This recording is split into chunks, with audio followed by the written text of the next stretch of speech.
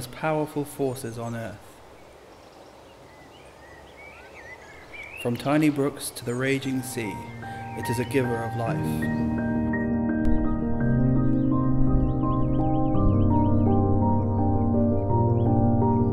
This is the story of one of nature's least well known water systems in one of England's most beautiful areas.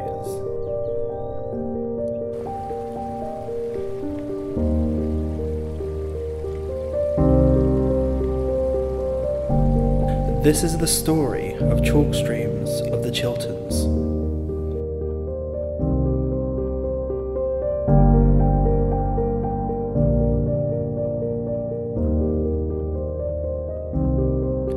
The Chiltern Hills lie in southern England, forming a ridge to the northwest of London, in the counties of Oxfordshire, Buckinghamshire, Hertfordshire, and Bedfordshire, covering 320 square miles.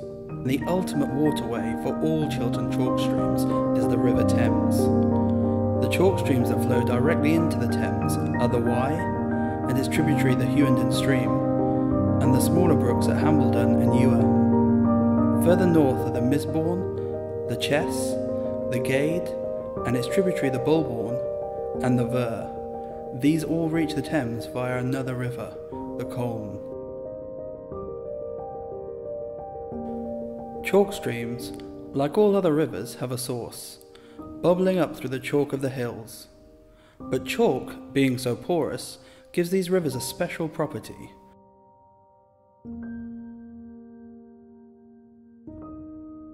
The River Wye at West Wycombe in Buckinghamshire illustrates this.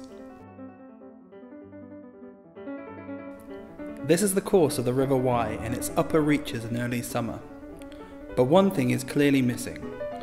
That's because this section of the river is known as a winterbourne, the word bourne coming from the Old Anglo Saxon word for a stream. This section is dry because the water table is lower than this point in June, but in winter, with heavier rainfall, it would normally be flowing. The chalk is known as an aquifer, water bearing porous rock. In this case, chalk. As a result, the flow of chalk streams is heavily dependent on rainfall, and as such, the source migrates throughout the year. To find water, we must go downstream, over the dry gravel, past the nettles,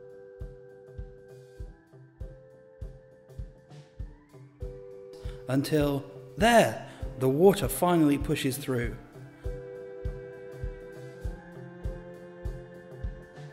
This source has been known to migrate several miles uphill in winters of heavy rainfall. From here, the river begins its journey.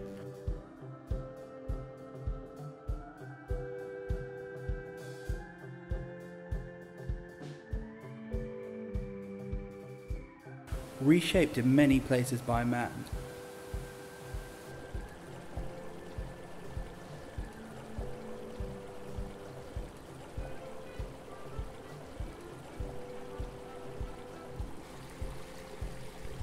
Until it reaches the mighty Thames.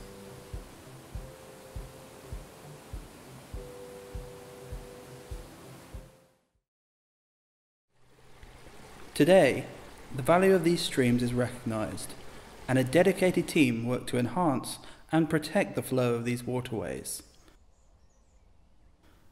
Allen Beechey is the manager of the Chiltern Chalk Streams project.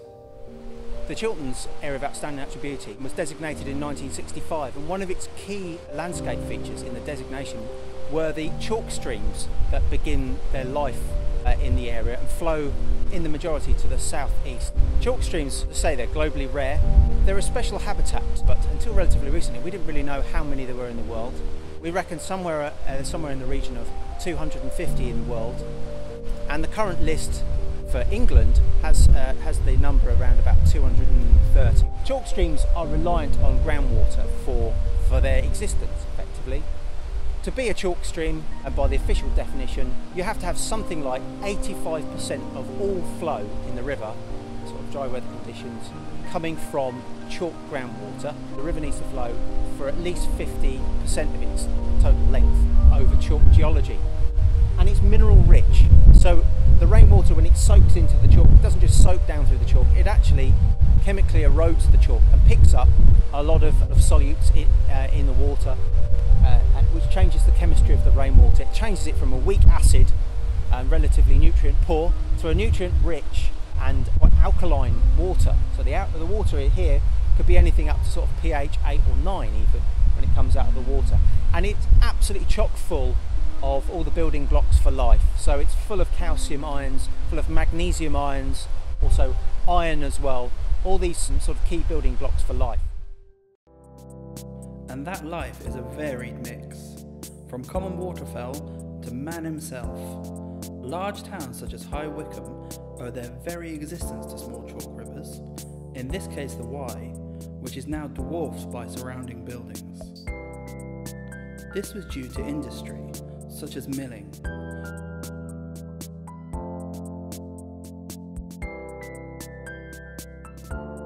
Today, very little industry remains, but on the River Chess, one tradition keeps on going.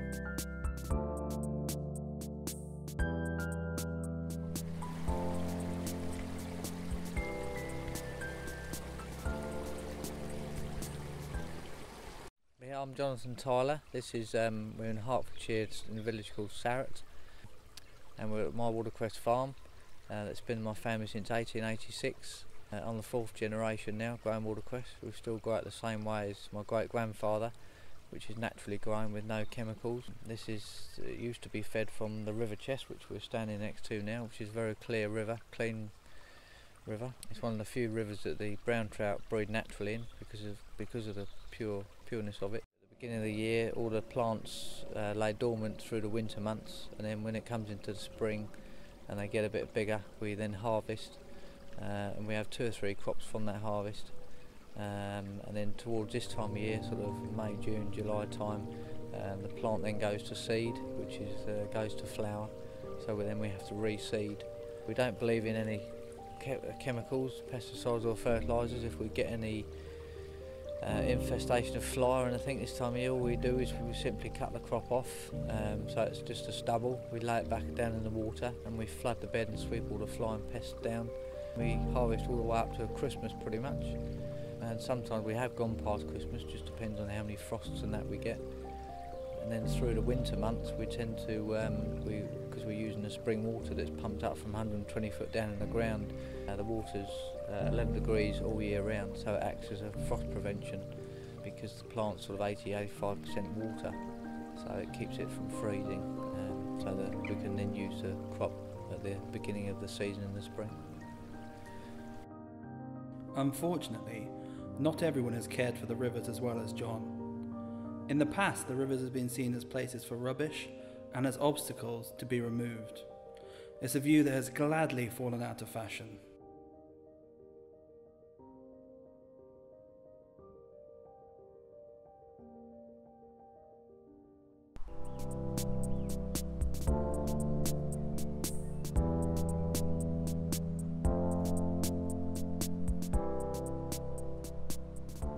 Chalk streams come with their own complex ecosystem, supporting everything from agriculture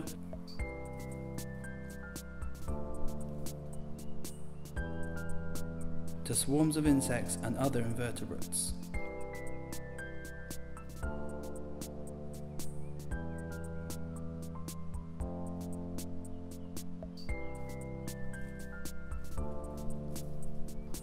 A little upstream from the watercress farm, the River Chess flows in as close to its unaltered course as it ever does, away from man-made channels and culverts. Professor Roger Wotton is an aquatic biologist. Here he guides us through a few of the dynamics at play, especially in the substratum, the layer of rocks on the bed of the river. Welcome to the River Chess and it's a typical chalk stream and you'll notice that in this section it's very easy to wade across it. And the substratum consists largely of stones and cobble and some smaller particles. And you also notice that you've got emergent vegetation on the banks and then vegetation like this willow which trails in. And then there are banks of vegetation within the stream, and one of the characteristic plants is water crowfoot, ranunculus. And you can see that those small patches have very fine sediment behind them on the downstream side. And what the ranunculus does is that it traps sediment. And the sediment is underneath the plant and also within the plant. And that acts as uh, a place where organic matter is stored. And that organic matter is broken down and as it's broken down it provides nutrients for the plant so the plant actually is engineering its environment to its own advantage. One of the things that is also characteristic of chalk streams is that when we look down and see the stones we can't really see many animals. Yet if you kick into it and have a net behind the area where you're kicking, you'll find there are huge numbers of animals. And animals are living within the substratum, and water is flowing within the substratum. And they will tend to come out at night onto the surface, and uh, they graze on films of material that are growing on the surface of stones, and also they'll feed on any organic matter which is present. The cycle within chalk streams in terms of vegetation is an interesting one. We're just seeing the development of growth here. You can imagine that the plants grow vigorously through summer and then in autumn they begin to die back and begin to fall into the river. So you get decomposition not just of the plants that are rooted in the river, but also those that are emerging at the sides of the river. And that's a big organic matter input to the system. And a whole lot of the animals that are living within the substratum are capitalizing on that and using it as food. One of the things also that's very poorly understood by the majority of people is that the organic matter, of course, is broken down not just by animals, but also by microorganisms. And there are also animals that are exploiting the very fine particles that are coming down in the river. We have the impression, looking at the water, that oh, it's crystal clear. And indeed, it is crystal clear. But it contains large numbers of tiny particles. And there are animals, I can just show you a few examples.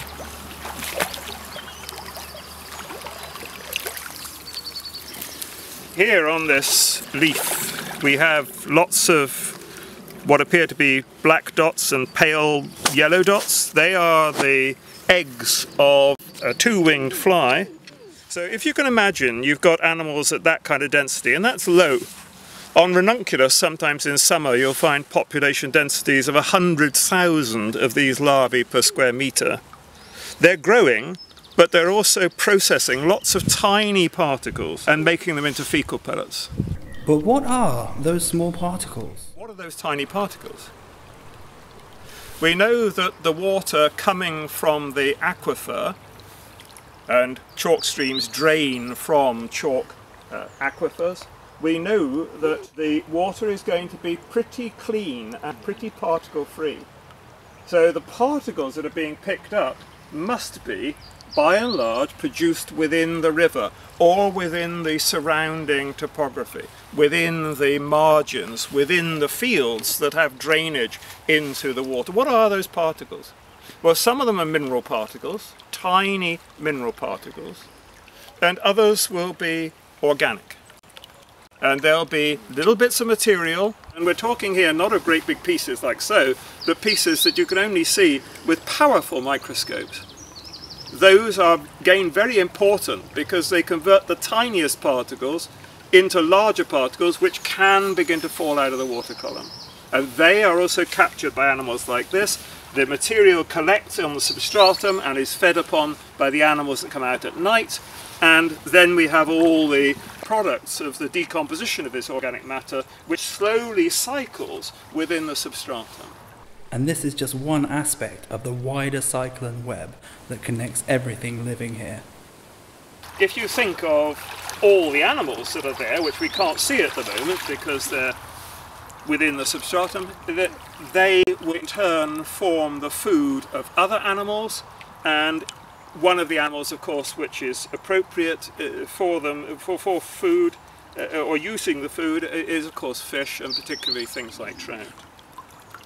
So you could say that the trout are dependent on insects or perhaps uh, freshwater shrimps, that they in turn are dependent on organic matter and largely dead organic matter and the dead organic matter is largely the result of photosynthesis producing emergent vegetation, trailing vegetation within the river or microbial organic matter. The chalk stream cycle is interwoven with all manner of creatures, many of which live in the substratum and are rarely met by human eyes. To Roger, though, it's a simple case of picking a rock from the stream bed. Uh, these concretions are in fact the pupal cases of caddisfly, and you'll see there's lots and lots of them all arranged with little pupae inside. Uh, so that's one kind of animal we'll see, and uh, this one is another caddisfly. And you can see it sort of a bit disturbed that its case is being rather messed around with. Uh, let's see if we can see something else. Here on my finger, uh, freshwater shrimps. And these shrimps are one of the commonest animals in the chalk stream environment. They're found in huge numbers and again they're very much involved with converting dead organic matter, leaf detritus, that kind of thing, into fecal pellets. Roger also managed to find some freshwater snails and even a freshwater leech.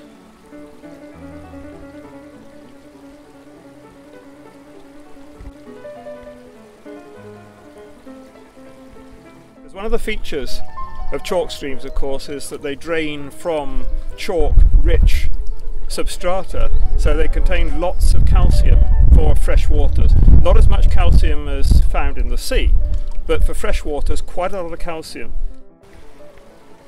As Alan mentioned previously, the waters here are rich in minerals, and this too affects the ecology. Swans are also great feeders of vegetation, like the water crowfoot. Roger has one final experiment to show us.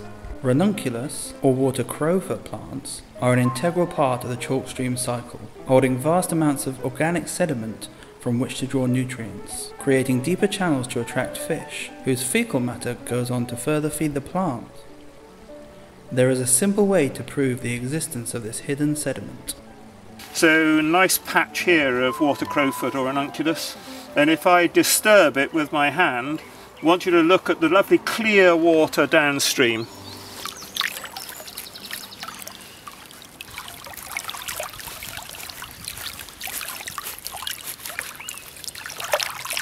And of course you notice that it's far from clear.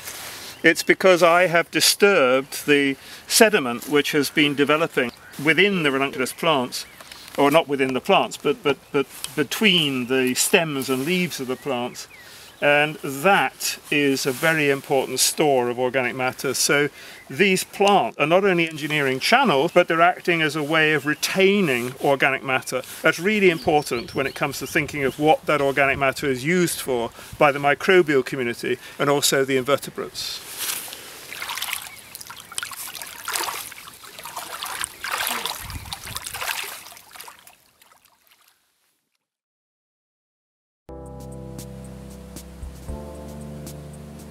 Chalk streams have a fascinating and intriguing series of biological systems, but the most important feature of these streams is also the one under the most pressure, the water itself.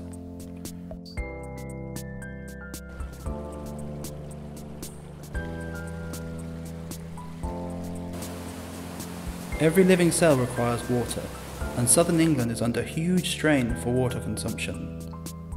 Millions of people live here, and the population is growing. They all need water to drink and bathe, and for water companies, groundwater, pumped from the rocks below, is often a tempting source. One of the companies supplying the Chilterns is Thames Water. Steve Tuck is a specialist in water abstraction. We supply about 2,600 million litres of water a day to our customers. The majority of it is derived from surface water. It's about 85% surface water in London and 15% groundwater. but in the Thames Valley, it's uh, the other way around. It's about 75% groundwater and 25% surface water. We obviously have a lot of chalk streams in southeast England, and we take a lot of water out of the ground, and our abstractions are from the chalk in large part. Historically, groundwater boreholes were developed without really very much regard to the impact on chalk streams. And so in my 20 to 25 years at Thames Water, I've spent the time investigating these impacts and looking at where we could reduce abstraction if necessary to reduce the impact that the abstraction has on chalk streams. So we've done this in several places, in the Chilterns, on the River Wye and the River Misbourne. So all of our investigations first would look at establishing what the impact of groundwater abstraction is on flow in the river and how significant that may be, and then look at what the impact that has on the ecology. That ecology is the same as what Roger was demonstrating earlier. The river that we've done a lot of work on is the River Wye, which runs down through High Wycombe, and we have actually reduced our groundwater abstraction at a place called Mill End because of the impact that Mill End has on flows in the River Wye and we're doing further investigations at another source right down in the middle of High Wycombe at a place called Pann Mill. The particular issue with the Chilterns is that part of the Chilterns AONB, so they're an area of outstanding natural beauty, and there are lots of pressures for growth in the Chilterns. And so, with more people and more housing, there will be in increasing demand for water. But we cannot continue to take water out of the chalk aquifer. In fact, we have to reduce that. As with any resource, planning its consumption is always a good way to achieve conservation. If millions of people are to live around the Chilterns, maybe there's another way to reduce abstraction. It's not just a case of uh, reducing abstraction and providing alternative sources. We also need to get people to do their bit in, in terms of using less water. We promote the use of uh, water saving devices such as hippos to put in your toilet cistern, um, the use of water butts to catch, catch water off roofs and use that for garden watering. All this needs to be developed as far as possible. We're also implementing a program of metering. We want to meter all our customers because we think that's the fairest way for them to pay for water. Measures such as these should help with the long-term aim of reducing water abstraction from some of our most precious water sources and assist in the protection of the rare ecology that chalk streams support. All the wonders of nature rely on water and that puts companies such as Thames Water on the front line of natural conservation. Just to put into to context the importance of the work that we're doing, everybody uses water and drinks water every day and the beauty of chalk streams is for the uh, wildlife that they support and how beautiful they look running um, down through the valleys in places like the Chilterns. But when you see a dry bed of a, a chalk river, it's just not the same. And so it highlights how important it is that we need to look after and maintain our chalk streams and ensure that they keep flowing and the water is there in the future. And we've got many challenges to meet in the future with growing demand um, and also the demands of climate change, which are potentially going to reduce the amount of rainfall we have in the summer months and put even greater pressure on our chalk streams. So it's all the more important that we work to try and reduce any impact that we have on these chalk streams now and into the future. Man has certainly done much to damage chalk streams in the past, and as Steve mentioned, aspects such as climate change will too have their effect on the chalk rivers in the future. In 2014, the World Wildlife Fund declared that 77% of England's chalk streams were failing to meet a good standard of health. Fortunately, the WWF, along with many other interested bodies, including the Chiltern Conservation Board, are working hard to protect these delicate habitats, and Allen Beechey, speaking from the River Misbourne, is at the forefront of this good work. Um, not only are, are chalk streams incredibly valuable places for wildlife, they're all, they've also been throughout history incredibly valuable resource for humans. And man has made use of chalk streams for many thousands of years for a variety of purposes. And and our use, and some would say potentially abuse of chalk streams over, over the years, has fundamentally changed the character of chalk streams. Humans have very quickly realised that, that these rivers, being so biodiverse, they would be great places um, for food initially. And later on, we realised that they were a very um, reliable source for power, to power mills, for example. And so chalk rivers have been extensively modified for milling over the years. And latterly, we've done all kinds of other things with chalk streams for fishery purposes, put weirs in, in rivers, and we've moved chalk rivers maybe to um, straighten them up, get them out of the way of a, a nice field uh, to grow crops, uh, maybe move them to build urban areas. Uh, most towns that have rivers running through them have, have seen their rivers extensively modified or even built over. And High Wycombe is no exception. The river gave the town its industry and created its initial success, but with it came growth. In the great expansion of the 1960s, the rivers were in the way of new shops and roads, and awash with effluent from factories. And a decision was made to bury them beneath concrete. Happily, work is being done to undo some of these acts. However, threats to these habitats come in many different forms. They are quite a threatened habitat. The chalk streams of the Chilterns, in fact the, uh, the chalk streams particularly that feed into the Colne catchment, like the River Misbourne here, are the most threatened or some of the most threatened chalk streams in the world. Uh, they're under incredible, immense pressure uh, from development uh, in, in the area around the Chilterns and indeed in the Chilterns. Um, we have unprecedented levels of development pressure and, and the pressures that come to chalk streams as a result of those developments, not only taking up land, concreting over of land, preventing valuable um, rainfall reaching the aquifer to feed these rivers, but also from the increased levels of abstraction to supply the increased population and the increased modification of the rivers to alleviate flooding or perceived flood risk. It's a massive threat. Those urban areas have in turn increased uh, greatly the amount of sediment getting into chalk rivers. You remember that uh, chalk rivers are characteristic by having clear water uh, and clear gravel beds. Well, those gravel beds are being smothered by, by silt from urban areas and the, the water is being clouded by the silt that is running off of ro- urban roads. If that wasn't enough in terms of threats, then chalk streams are also under threat from major development beyond domestic development or development of towns. We're talking about major infrastructure projects, the uh, Heathrow extension, and also High Speed 2. High Speed 2 is the proposed new high speed railway running from London to the Midlands and on to the north.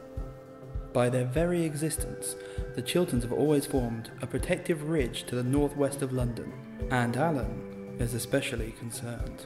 It is proposed that High Speed 2 will tunnel underneath the river, right beneath my feet here. And the tunnel will be less than 20 metres below surface, running in saturated uh, chalk.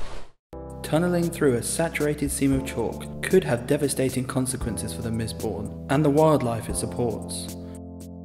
That aside, it is clear to see that these wonderful chalk streams are finally getting the attention they deserve, and that through measures taken by conservation boards, water companies, researchers, and more, securing the future of chalk streams is something that is now high on the agenda. And whilst the security of chalk streams is far from absolutely certain, the raised awareness of these special places is sure to assist in their preservation. Without water, there is no life and without chalk streams, there would be no life in the Chilterns.